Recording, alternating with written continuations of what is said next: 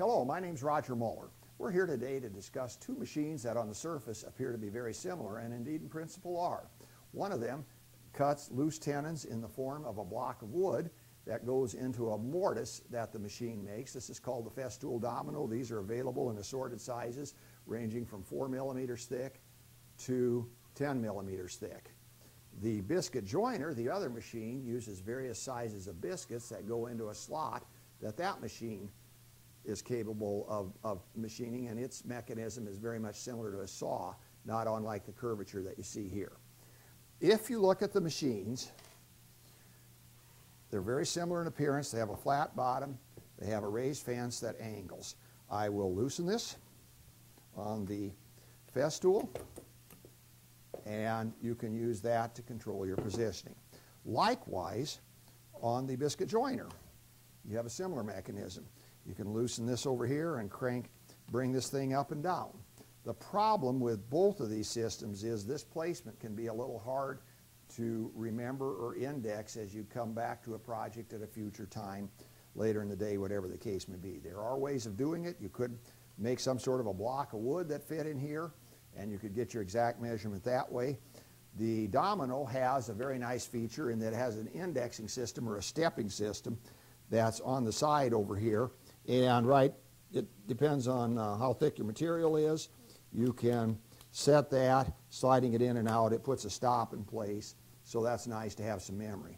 But I want to point out on each of these machines, there's something very unique that isn't obvious to you that is just so handy to use as the predominant alignment mechanism. And that is the fact that in the case of the biscuit joiner, the saw blade is centered on this red line, which is 3 eighths inch above the tabletop.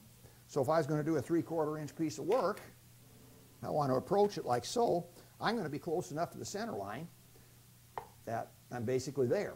Remember, you don't have to be in perfect center with any of these machines. You just have to be indexed correctly. Similarly with the pieces you're joining.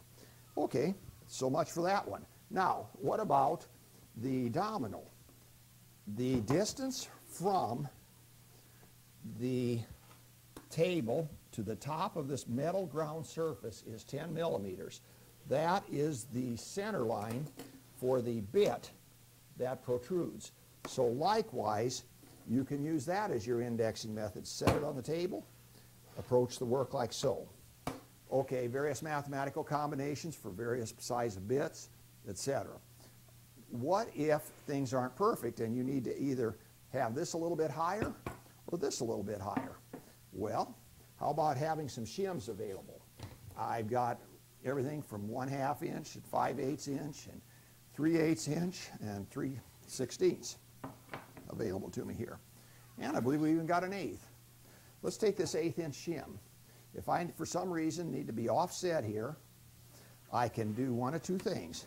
I can raise the machine, if that serves my purpose, by laying it onto the, onto the shimmed area or spacer, whatever you want to call it. If I want to do a lot of these, I might cut the spacer to the very same size, use double stick tape, and put it down. That very same double stick tape can, technique can work right here.